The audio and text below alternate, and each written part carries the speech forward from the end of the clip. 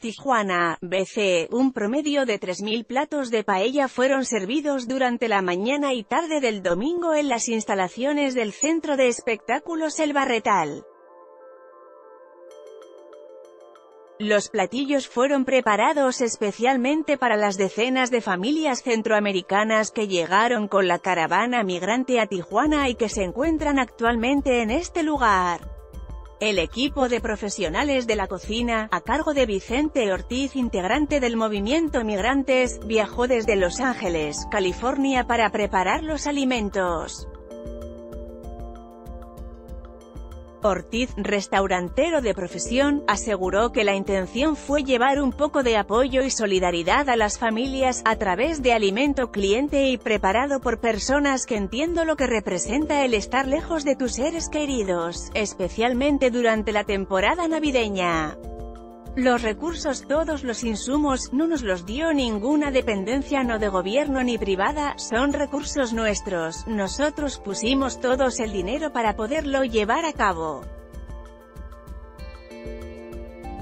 Surge la idea porque estamos en unas fechas festivas y sabemos que es la sensibilidad este tiempo para toda nuestra gente y creemos que lo que han pasado ellos, darles un día de felicidad en esta época pues les va a hacer un poco más llevadero el estar aquí, expresó Ortiz. Por espacio de cuatro horas, el equipo de voluntarios trabajó en la preparación de los platillos que acompañaron con ensalada y pan. Desde las 8 de la mañana llegaron al centro de espectáculos para instalarse y comenzar la elaboración de más de 6 ollas de paella más la paella gigante, la cual incluyó 300 kilos de carne del puerco, pollo y chorizo, más la verdura y 150 kilos de arroz.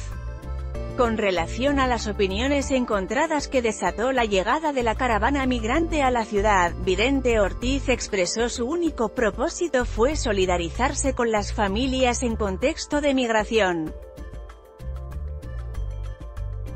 Nosotros solo venimos a solidarizarnos y como migrantes todas las personas tienen derecho a buscar un mejor futuro.